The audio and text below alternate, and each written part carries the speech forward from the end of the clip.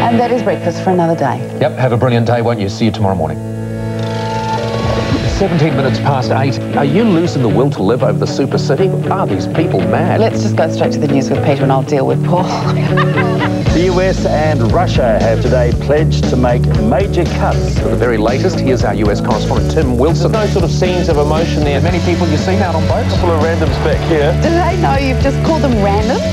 Thank you very much for your feedback. It's madness, I tell you, madness. Your news day starts here. Good morning. It's excellent you could join us for New Zealand's breakfast. yes, it's fantastic to be with you. Breakfast, 6.30 weekdays, TV1.